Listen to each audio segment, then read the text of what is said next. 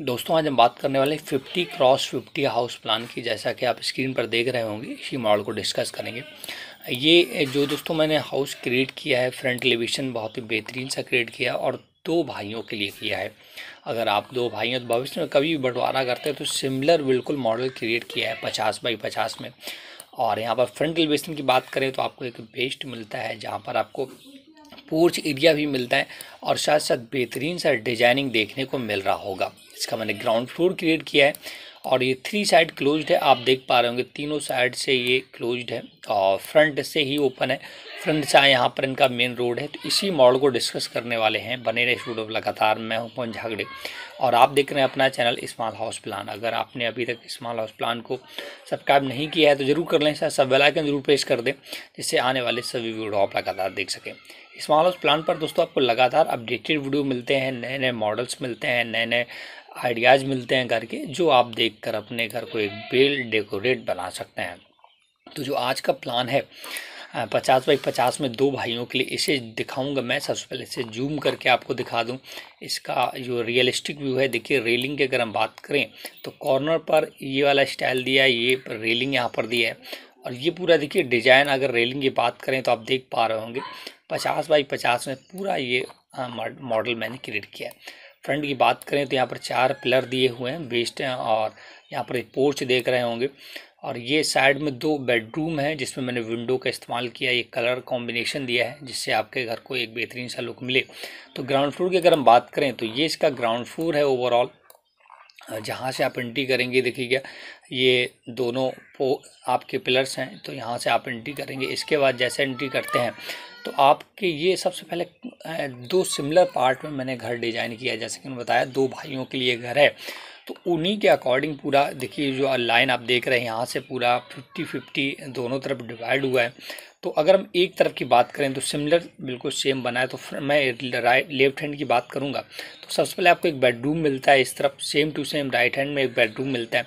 एक डोर मैंने इधर से लेफ़्ट हैंड में एंट्री करने के लिए दिया है, एक राइट हैंड के लिए दिया है। तो जैसे आप लेफ़्ट हैंड से एंट्री करते हैं तो इस साइड आपको बेडरूम मिलता है, यहाँ से आप जाते हैं पीछे तो यहाँ पर ये आपका किचन एरिया मिल जाता है, जिसमें आपका ये आपका एक विंडो मिलता है। और फ्रंट का जो आपका बेडरूम है, उसमें ये डोर मिलता है लेफ़्ट हैंड से।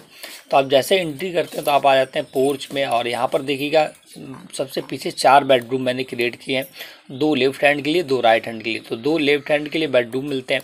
इसके बाद ये स्टेयर्स मिलती है, उसके नीचे एक लेटेंट बाथ है और एक ये जो फ्रंट में बेडरूम था, उससे अटैच्ड एक लेटेंट बाथ और क्रिएट किया है ये किचन है।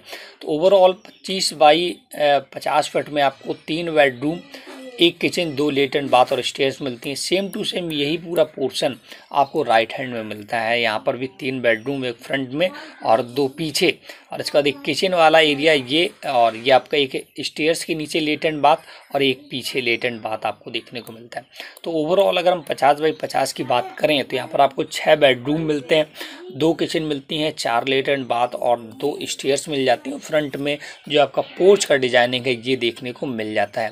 तो इसीलिए मैंने टेक्सचर अलग अलग यूज़ किए हैं और फ्रंट की एंट्री के लिए फ्रंट वाला जो बेडरूम है, इसको मैंने जो एंट्री दी है, बाहर से ही दी है। देखिए इसी में डोर यहाँ पर साइड में दिया है। और वेंटिलेशन की बात करें तो सब वहाँ पर प्रत्येक जगह, अगर इसकी बात करें फ्रंट वाले बेडरूम के लिए तो मैंने विंडो दिया है। किचन में प्रॉपर वेंटिलेशन हो सके, इसी वजह से ये यहाँ पर मैंने किचन को फ्रंट में रखा है, जिससे आपका हवा पास होता रहे और इंट्री यहाँ से आपको दी है। तो ये ओवरऑल पचास बाई पचास फीट में मैं बात करूँ, पच्चीस सौ स्क्वायर फिट में हाउस क्रिएट होता है, जो कि दो भाइयों के लिए मैंने क्रिएट किया है उसमें कभी भी सेपरेशन हो तो आपका सिमिलर पोर्शन बिल्कुल आप डिवाइड कर सकें।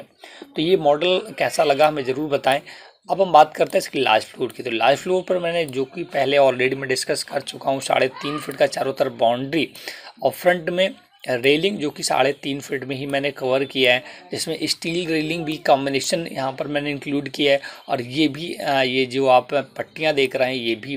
तो पूरा ओवरऑल अगर हम बात करें तो आपका वेल डेकोरेट 50 क्रॉस 50 में हाउस प्लान यहाँ पर मैंने क्रिएट किया है। तो अगर ये वीडियो आपको पसंद आया तो प्लीज़ लाइक कर दें और स्मॉल हाउस प्लान चैनल को अगर आपने अभी तक सब्सक्राइब नहीं किया तो ज़रूर कर लें। कोई भी डाउट है तो कमेंट करके पूछें। अगर ओवरऑल हम इसके कॉस्ट की बात करें तो उसको फाइंड आउट करना चाहते हैं तो आप प्ले स्टोर पर जाएँ, मेरा एप्लीकेशन है स्मॉल हाउस प्लान नाम से उसे डाउनलोड कर लें तो वहाँ पर टोटल मटेरियल वगैरह आपका बता देगा कॉस्ट बता देगा, और मैंने एक पेड सर्विस भी स्टार्ट की है, जैसा कि मैं लगातार आप लोगों को बताता रहता हूँ, उस पेड सर्विस के माध्यम से आप हमें कॉन्टेक्ट कर सकते हैं।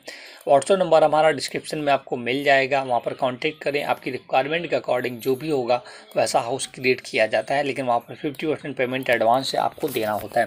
इसका आपको विशेष ध्यान रखना है। तो इस मॉडल को जैसा भी आपको लगा अपना ओपिनियन दे, कोई भी रिक्वायर्ड है मॉडल है तो आप हमें कमेंट करके बता सकते हैं। Thanks for watching